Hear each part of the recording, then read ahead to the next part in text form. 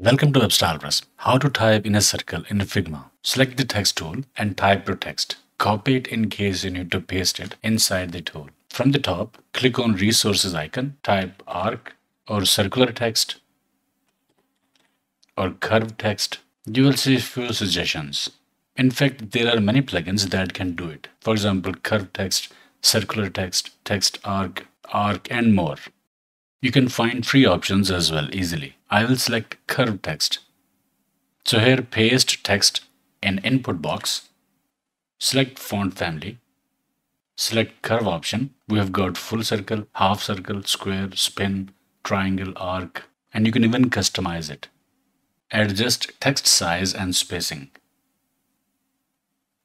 You can also inverse it. After you are happy with the look and feel, click create button and here's our text. Now we can adjust its size, color, font family and more. We can scale it up and down and whatever we like. Okay, I hope it helped.